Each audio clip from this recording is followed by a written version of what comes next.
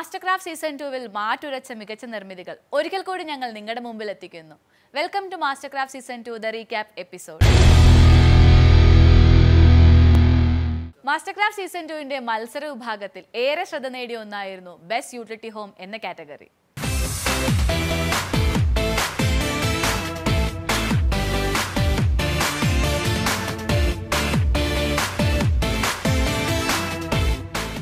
സ്ഥലപരിമിതിക്കുള്ളിൽ നിന്നുകൊണ്ട് ചിലവ് കുറഞ്ഞതും സൗകര്യങ്ങൾ നിറവേറ്റുന്നതുമായ വീടുകളാണ് ഈ വിഭാഗത്തിൽ മത്സരിച്ചത്.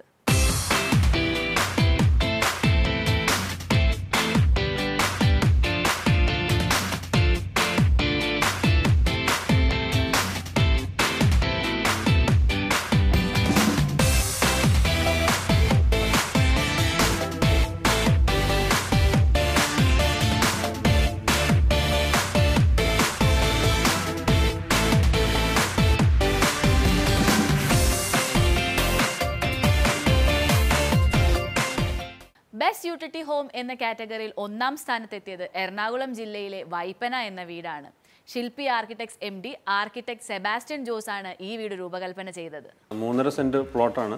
അപ്പോൾ ഈ പ്ലോട്ടിന്റെ ഒരു ഒരു മേജർ ഡ്രോബാക്ക് എന്ന് പറഞ്ഞാൽ ഇതിന്റെ നോർത്ത് ഈസ്റ്റ് സൈഡിലുള്ള ആണ് റോഡ്. ആ റോഡ് ഈ പ്ലോട്ടിന്റെ ലോങ്ങർ ഡയറക്ഷനിലാണ് പോകുന്നത്. അതുകൊണ്ട് ഈ സൈഡിൽ ഒരു major portion building set back ആയിട്ട് പോകും. മൂന്ന് മീറ്റർ മാൻഡേറ്ററി ആയിട്ടുള്ള സെറ്റ് ബാക്ക് വേണം.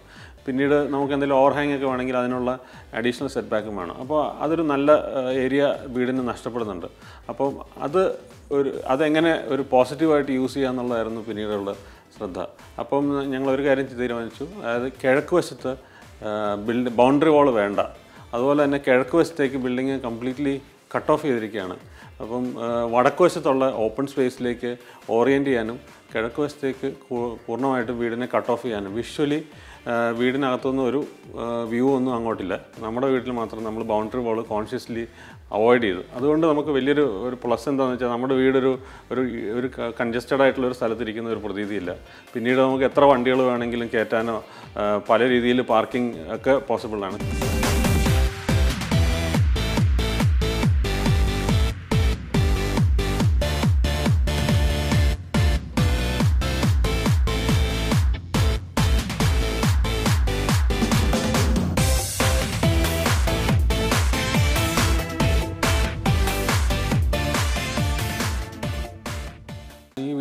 ആയിരത്തഞ്ഞൂറ് സ്ക്വയർ ഫീറ്റേ ഉള്ളൂ.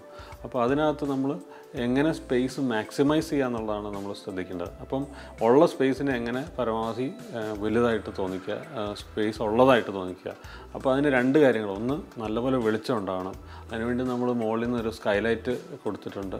പിന്നെ നോർത്ത് സൈഡിലേക്ക് പൂർണമായിട്ടും ഫുൾ ഗ്ലാസ് ആണ് കൊടുത്തിരിക്കുന്നത്. അപ്പോൾ ഗ്ലാസ് കൊടുത്തിരിക്കുമ്പോൾ വീട് പുറത്തേക്ക് എക്സ്പാൻഡ് ചെയ്യുന്ന പോലെ ഒരു തോന്നലുണ്ടായി പിന്നെ അകത്ത് വീടിനകത്ത് മിനിമൽ ഫർണിച്ചറേ ചെയ്തിട്ടുള്ളൂ. ആദ്യം അധികം ആവശ്യമില്ലാത്ത ഫർണിച്ചർ കുത്തി നിറച്ച് ഈ ഉള്ള സ്പേസ് നമ്മൾ കളഞ്ഞിട്ടില്ല. പിന്നീട് മൂന്നാമതൊരു കാര്യം ചെയ്തിരിക്കുന്നത് വെച്ചാൽ ഈ എൻട്രി ചെയ്യുന്ന സ്പേസ് വടക്കുവശത്ത് നിന്ന് എൻട്രി ചെയ്യുമ്പം ലിവിങ് ഡൈനിങ് ഫാമിലി സ്പേസിലേക്കാണ് എൻട്രി ചെയ്യുന്നത്. ആ സ്പേസ് ഡബിൾ ഹൈറ്റ് ആണ്. എൻട്രി ചെയ്യുന്ന പോർഷൻ ഡബിൾ ഹൈറ്റ് ആണ്. ഡബിൾ ഹൈറ്റും അതിന് മുകളിലേക്കുള്ള സ്പേ മുകളിലൊരു ഡെക്ക് ഉണ്ടെങ്കിൽ തന്നെ ആ ഡെക്കും പകുതിയേ ഉള്ളൂ. കറി അപ്പം ഈ സ്പേസ് മുകളിൽ വരെ ഓപ്പൺ ആയ പോലെ തോന്നുന്നു. അപ്പം നമുക്കൊരു ഒരു ഒരു ഔട്ട്സൈഡിലേക്ക് തന്നെ വീടിനകത്തൊരു ഇടുങ്ങിയ സ്പേസിലേക്ക് കയറുന്ന ഒരു പ്രതീതി ഇല്ല. അത് നമ്മൾ കോൺഷ്യസ് ആയിട്ട് ചെയ്ത ഒരു തീരുമാനമാണ്.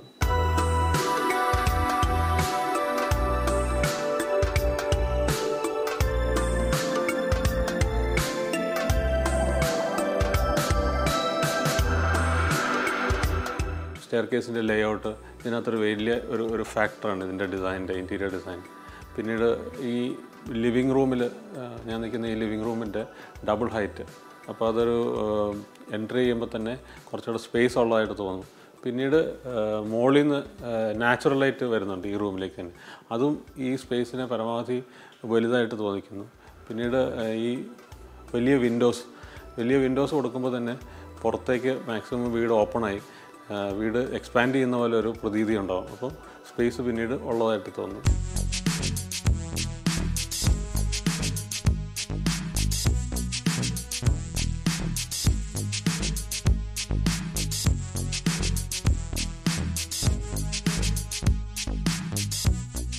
എന്റെ വീടിനെ പറ്റിയുള്ള ഒരു സങ്കല്പം എന്നുള്ളത് ഒരു ചെറിയ വീടായിരിക്കണം.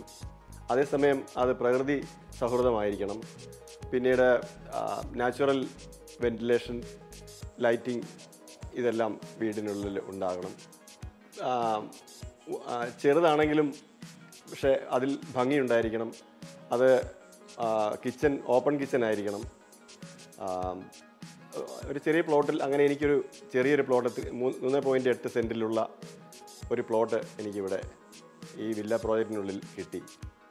ഞാൻ ആർക്കിടെക്റ്റിനോട് ആവശ്യപ്പെട്ടത് ഒരു എയർ കണ്ടീഷനിങ് ഇല്ലാത്ത നാച്ചുറൽ വെന്റിലേഷനിൽ നമുക്ക് കംഫർട്ടബിൾ ആയിട്ടിരിക്കാൻ പറ്റുന്ന ഒരു വീട് വേണമെന്നുള്ളതായിരുന്നു എന്റെ ആവശ്യം.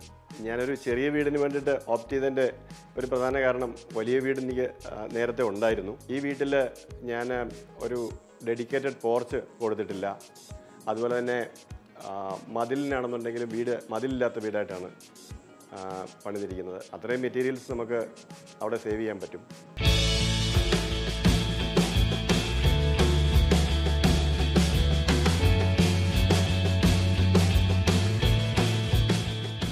റിട്ടയർമെന്റിന് ശേഷം വീട് മെയിന്റെയിൻ ചെയ്യുക എന്ന് പറയുന്നത് വളരെ ബുദ്ധിമുട്ടുള്ള ഒരു കാര്യമാണ്. അതുകൊണ്ട് ഒരു ചെറിയ വീടായിരിക്കണം.